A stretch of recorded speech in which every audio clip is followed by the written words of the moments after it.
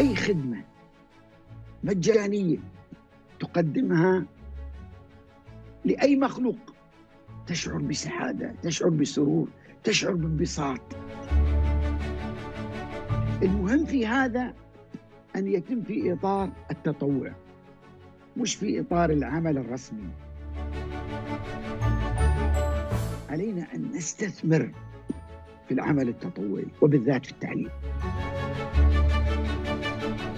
التعليم يجب أن ندرك ان نحن نمسك بالاداه أداة التغيير في المجتمعات في الارتقاء بهذه المجتمعات في تطوير هذه المجتمعات وفي صناعة إنسان إيجابي منتج طيب لمجتمعه ولأسرته ولنفسه.